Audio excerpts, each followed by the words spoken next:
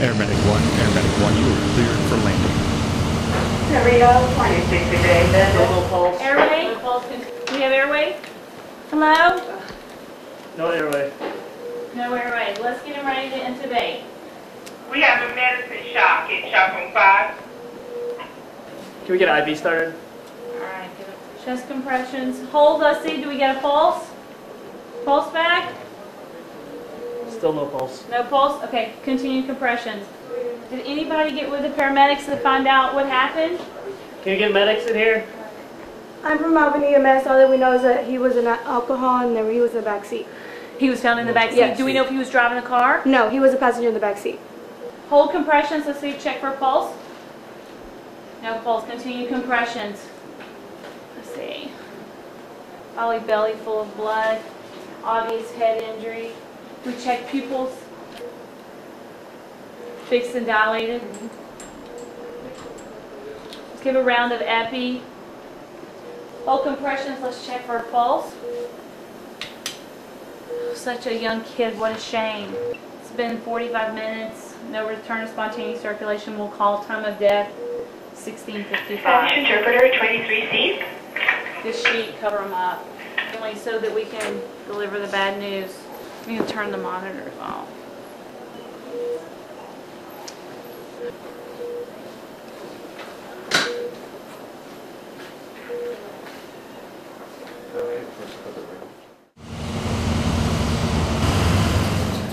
I'm gonna pull you in here.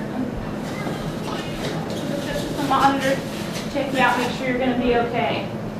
Can you tell me your name? Ian Gray. Do you know what today's date is? Um, So airway's intact. Can someone take a listen to his lungs, breathing? Let's check pulses on this leg. And the only thing that's hurting is your arm and your leg? Yes, ma'am. We got good breath sounds? We can go ahead and get this dressing down and take a look at what we have. Obvious deformity. Let's call orthopedics and get them here. Good pulse here, even though he's got an open fracture. We'll get him wrapped up. I'm about to go to Rice. I had a full scholarship there for football. I'm sorry to tell you, I don't think you're going to be playing football. This leg looks really bad. We're going to be lucky if we can salvage it. But this, this is my last chance. We're going to do everything that we can. We're going to get your pain under control, and the bone doctor is going to take you up to the operating room, see if they can't salvage it. But you're not going to be playing football. That was my life. I'm so sorry.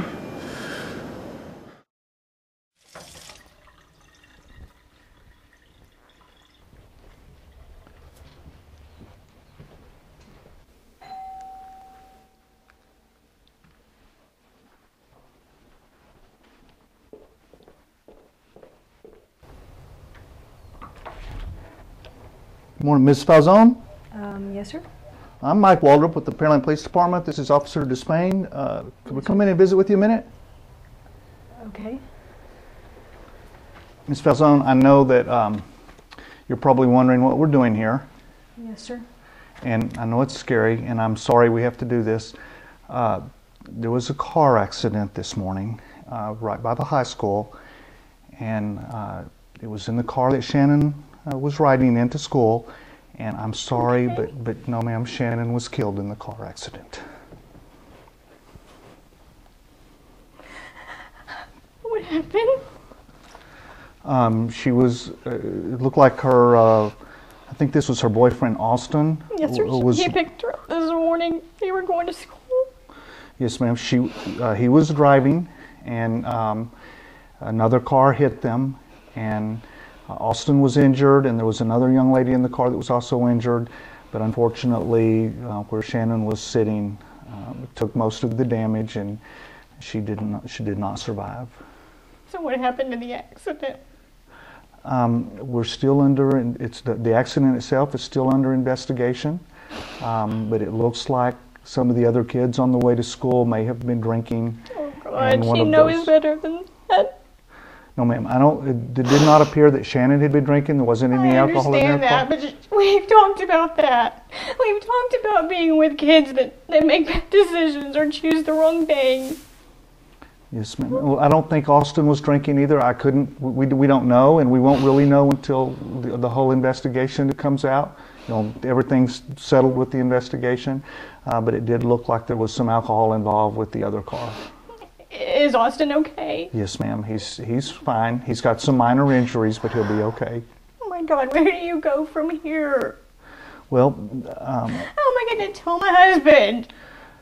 that's that's what I'm here for. If it would be helpful, could has he gone to work already? Yes.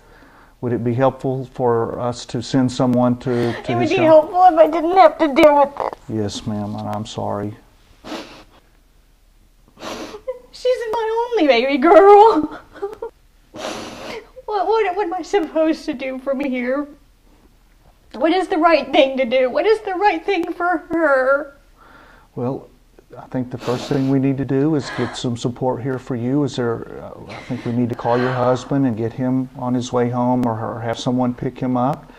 And if there's a, a friend or a pastor or a church or um, uh, some family members that we could call to be here for you, then we need to call and, and I get need some my support. daughter here.